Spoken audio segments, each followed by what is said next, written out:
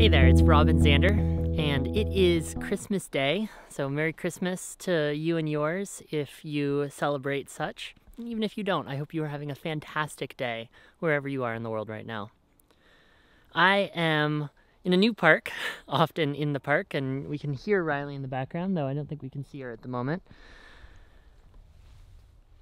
Spending a couple of days with my family and thinking about gratitude.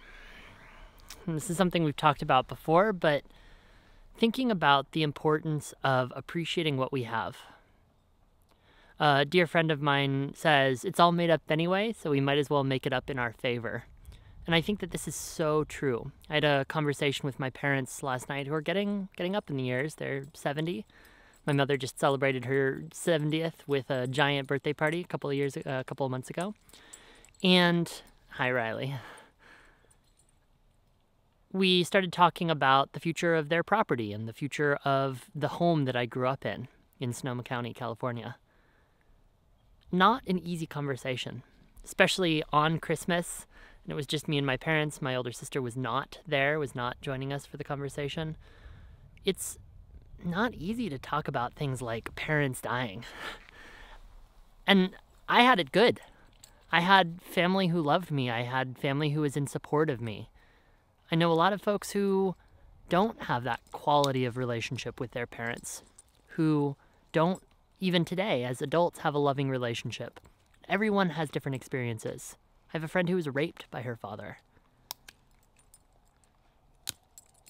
I'm not one to tell you how to live your life, but I'll give you a piece of my experience, which is if we're grateful for what we have, it's all made up anyway.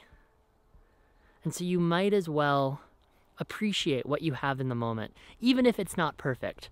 There were definitely times in my childhood where my family wasn't there for me and I really suffered as a result. And that shaped me. That in some way put a chip on my shoulder, but it's created me to be who I am.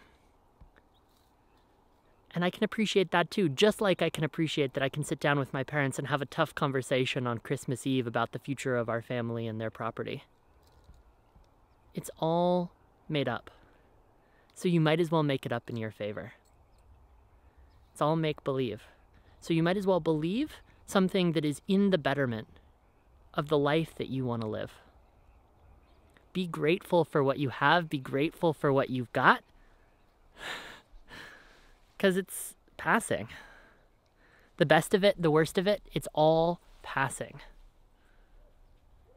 So enjoy it while you have it.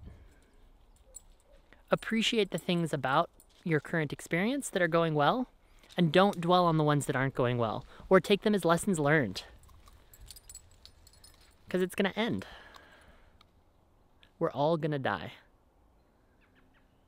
And so live the life you've got to the fullest that you possibly can and then make it even bigger, make it even better.